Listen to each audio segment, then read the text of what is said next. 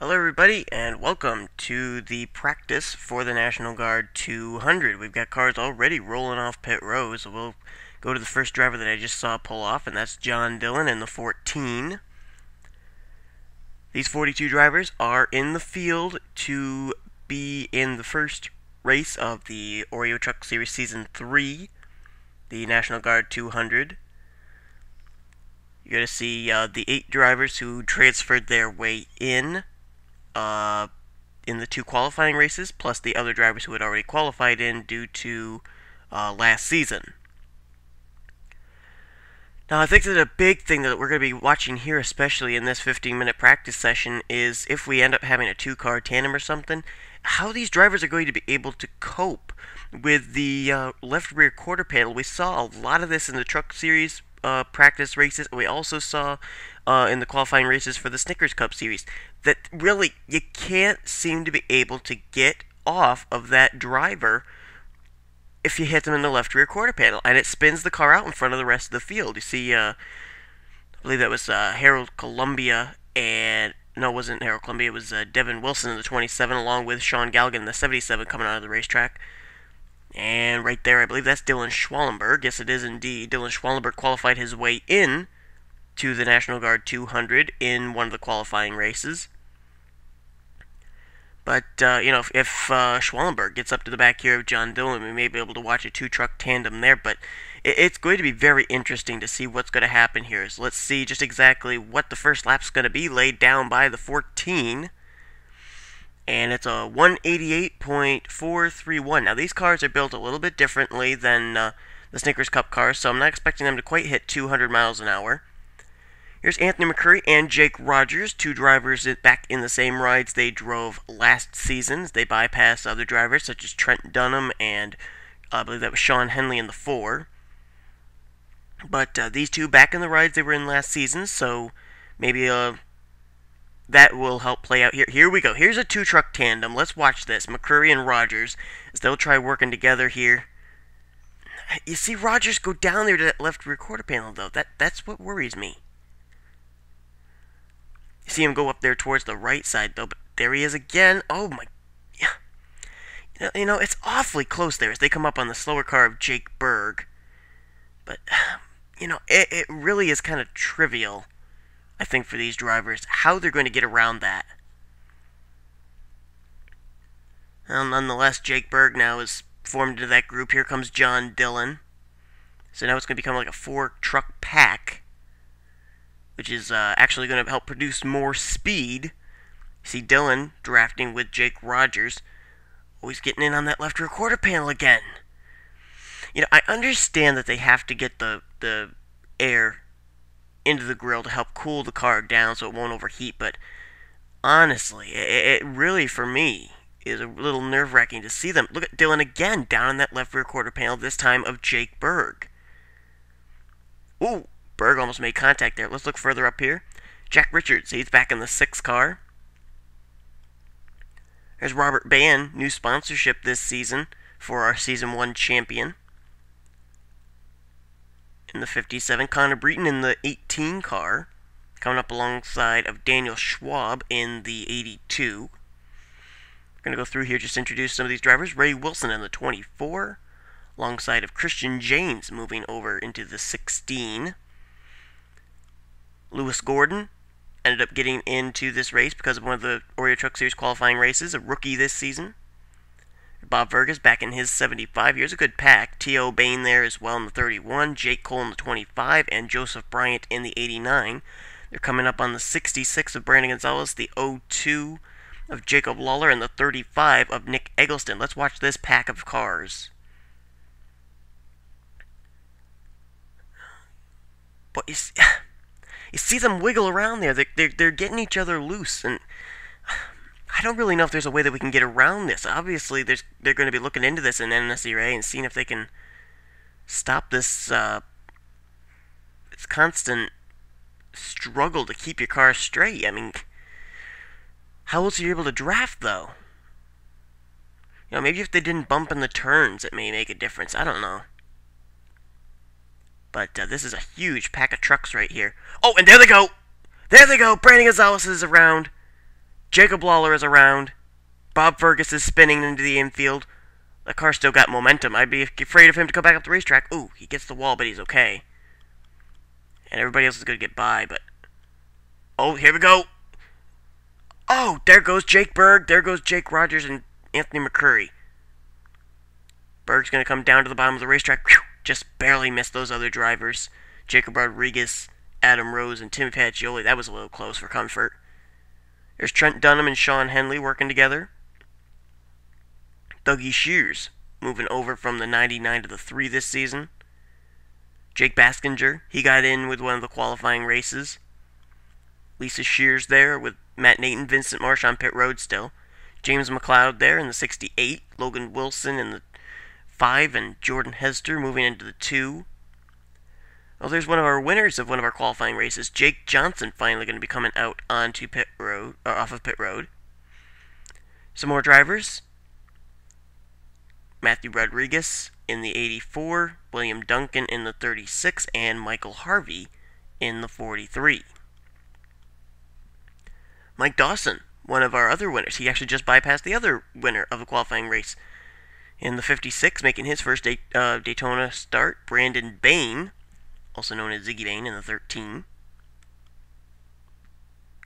There's Trey Campbell in the 87. He qualified his way into the National Guard 200 with his, the qualifying race. And uh, there's Adam Chambers in the 1. Our defending Snickers Cup Series champion. If we can look further back here. This is a big pack of cars. Christian James in the mix there, Daniel Schwab, John Dillon, Connor Breton, Robert Bann, Ray Wilson.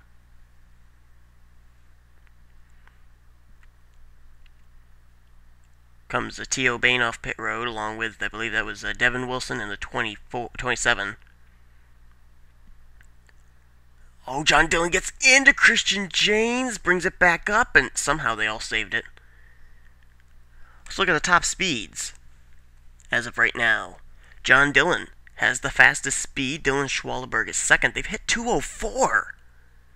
Wow. I didn't think these trucks were going to hit 200 miles an hour. Robert Bann, Joseph Bryant, Jake Cole, Brandon Gonzalez, Jacob Lawler, now Adam Chambers, uh, Logan Wilson, and T.O. Bain are the top 10. Wow, these trucks running really fast around this racetrack. I'm rather surprised. Now see right here, this this is kind of textbook drafting that I'm talking about. You see the 16, he's staying right behind the 82. Right there he stepped out a little bit, but not really that much. I'm seeing other drivers though, they're they've got almost half the front of their car on the left side of the other race car and th that's what's making me worried. Oh, man! Connor Breton almost got Robert Bann turned around. Well, you see right there, there's uh, John Dillon, there's Robert Bann, and there's Dylan Schwalenberg. Those four are in the top 10 for fastest speeds. And that guy has tops them all. Well, not anymore. He now has, uh, oh, Dylan Schwalenberg right behind him has topped the leaderboard. Take a look and find our defending champ coming into this race. Jake Rogers in the 91, running 22nd fastest on the racetrack. So he's trying to catch up to this group here. Uh, Adam Rose, Timmy Pacioli, Jacob Rodriguez. If you're running by yourself, you're not going to run real fast if they bypass Lisa Shears coming back onto the racetrack. And uh, another ride that actually was really, really good last season was the uh, 21 of Matt Nathan. He was a rookie last season. This season, coming in as a not a veteran, but it's a second year driver. He's uh, racing it out here with Vincent Marsh and Jake Baskinger. 36th fastest out of 42, though. That's not exactly a good qualifying or good practice run so far for him. And neither for this guy, Timmy Pacioli, who was a championship contender last season. 34th on the speed charts right now as he's getting pushed by Adam Rose and Jacob Rodriguez. We'll see if maybe that'll help his speed or something, but Let's go back to uh, John Dillon. Well, this pack that we had is suddenly broken up a bit. No, maybe not. And we have uh, Dylan Schwallenberg stuck in the middle there. Jake Berg's in this mix. Jake Johnson, right there, one of our qualifying race winners. Anthony McCurry, Lewis Gordon. Got a lot of drivers who actually qualified their way into this race here. Oh! Phew! Robert Band nearly turned Connor Breton. Oh boy, they're sliding up the racetrack there. Not certain what the weather conditions really are like out there. I mean, it's, it's pretty warm down here in Daytona and Florida, but it may be making this track a little slick for these drivers. I don't know. Connor Breton is now third fastest on the racetrack. Robert Band behind him, fourth fastest, is oh John Dillon almost gets turned, and what a save by John Dillon! Oh my word! I can't believe he held on to that car. Lewis Gordon had him turned sideways. Oh, and there they go. Jake Johnson's turned around. Come on, get that thing righted. There you go. It's got some damage to that race car, but I don't think that's really going to be anything real bad. You know, the one thing these guys don't want to do is they don't want to have to go to a backup car. That really would hurt their chances. They'd be at the back of the pack for the start of the National Guard 200. Brandon Gonzalez heading for pit road. Let's watch this pack of cars. It's a good pack. Sean Henley, Trent Dunham. We've seen them working together all day long. Dougie Shears, T.O. Bain, and Lisa Shears in this pack as well. Sean Henley, a rookie this season, along with Trent Dunham. Henley is 29th fastest, 22nd fastest for Trent Dunham. Now there's T.O. Bain. He was a go or go homer last season, but he's in the number 31 this season. He's 18th fastest on the racetrack. There's Dougie Shears in the 3, 27th fastest right now in that 3 car. The 3 was driven last season by Brandon Bain. And there's Bain on pit road. Let's look through the field here, try and find some other drivers to talk about. Yeah, we haven't talked about Devin Wilson at all in that 27 car. Devin ended up uh, being a go-go homer in the number 18 last season, and now he's in the 27, which uh, coincidentally was driven by a championship contender last season, Harold Columbia. So maybe they're expecting a little bit of luck from that 27 car. That car went to victory lane also last season when Harold Columbia drove it.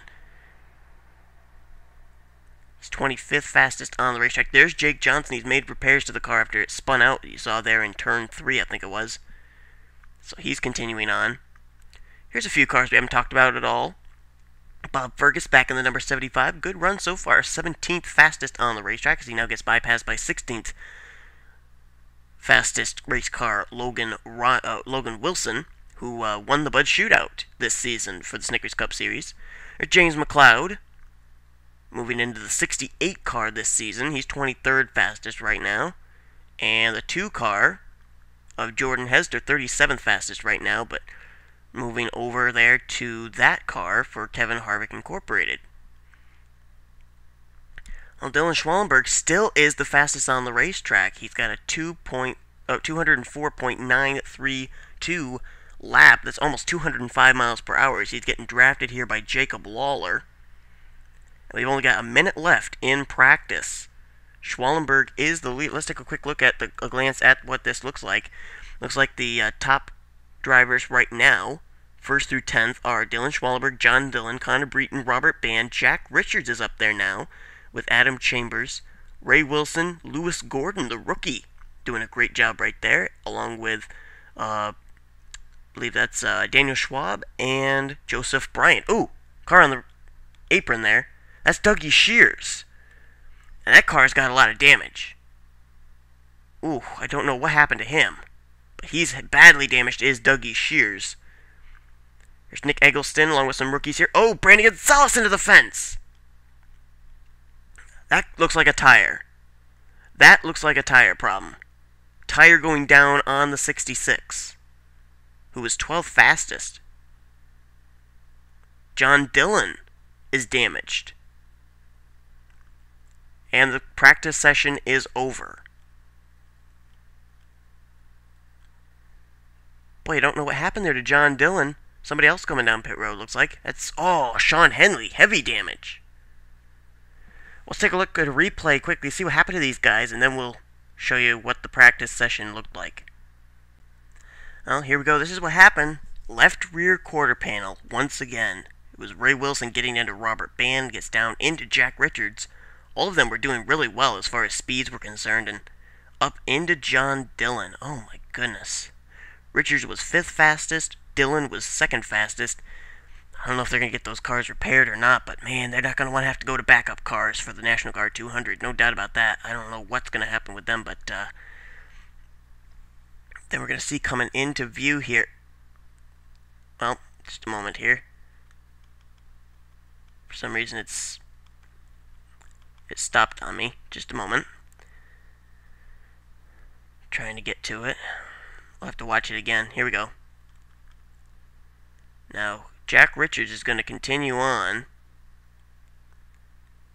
And I think maybe he and Dillon make contact when Dillon wants to come down pit road. No, Adam Rose just got into the back of John Dillon. Lewis Gordon involved there, and look at that. Dougie Shears nowhere to go. Trent Dunham does a great job getting through. Lisa Shears and Sean Henley, though, are involved.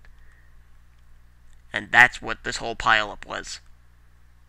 Oh, Adam Rose just plowed into the back of the John Dillon machine. Whew, that was that was a hard, hard lick, no doubt about that. Alright, so here's what it looked like for the practice session. We went through the top five. Jake Cole was 11th fastest. Brandon Gonzalez 12th. Jake Rogers, our defending champion, 13th fastest. He picked that up pretty quickly. Lawler and Christian James, the top 15. The rest of these guys, really, practice session doesn't mean much. It just shows who has a faster car. And I'll tell you what, Dylan Schwallenberg, a rookie, up there atop the leaderboard, along with Connor Breton and Lewis Gordon and Joseph Bryan in that top 10. Four rookies. So we may have some uh, surprises for us here. Sean Galligan only ran 199. I think he ran the whole practice session by himself with no drafting partner. So who knows? He may have something in store when we get to the National Guard 200. Uh, and then a lot of rookies down here. Not really surprised about seeing William Duncan, Mike Dawson, and Jake Johnson down there because, uh, you know, not a lot of people draft with the rookies in practice session, but you bet they're going to be having drafting partners when we get to the National Guard 200, which will be coming up very soon, by the way. Hope you'll tune in for the uh, Mobil Cup Series and Snickers Cup Series practices coming here as they prepare for the Samsung 300 and the Daytona 500, and then we'll be getting to the points races. Thanks for watching the Unnecessary Sports channel, offline racing at its best.